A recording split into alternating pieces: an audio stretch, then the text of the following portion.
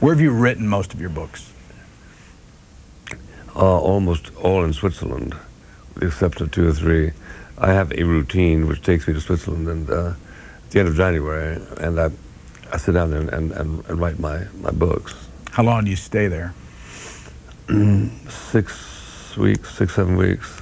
So at the time we're talking today, live, uh, you've been back just for how long? I've been every year. I mean, back this time.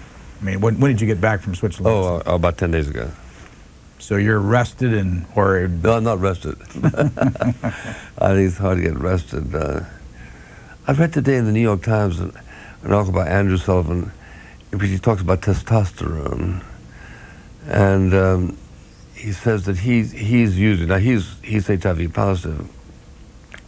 And, and perhaps that, that was a reason he did it. But he says in it that uh, ever since he used it, his energy level is completely back to normal. He's not talking obviously about sexual energy level.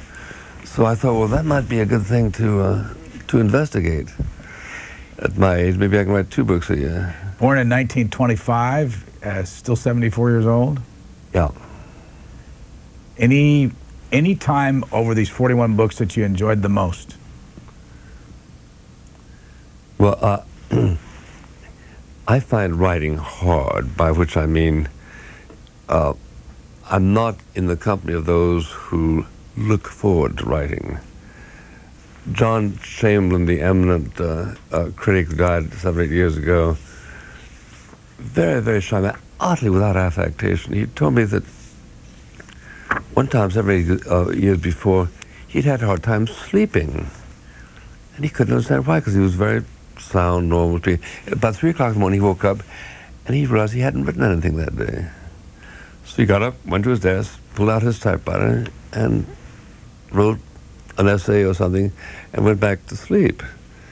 Uh, I know a few people like that whose uh, need to write can be compared to some people's need to uh, to eat or to take exercise. I don't have that. Uh, I, I, just think it's terribly, terribly hard, sweaty work.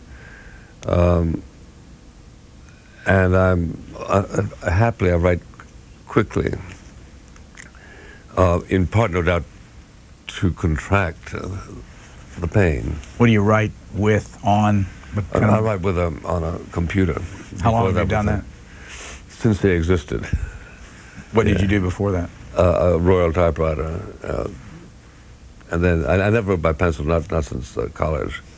I was the editor of the, my, my, school paper, so I'd write editorial every day. And uh, for the first week or two, I would write by hand, but then went right to a, to a typewriter, which I think most people do. What time of day do you write? Depends on the deadline, but um, my routine, my book writing routine is to start writing at 4.30 in the afternoon which gives you time to ski before and to do your regular work in the morning.